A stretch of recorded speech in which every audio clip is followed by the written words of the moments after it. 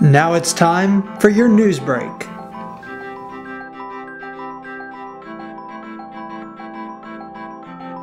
Good afternoon, everyone. I'm Derek Brizendine with the Daily Star Journal's news break. Work is underway to replace the roof and other work on the county building, which formerly served as a courthouse and dates to 1898.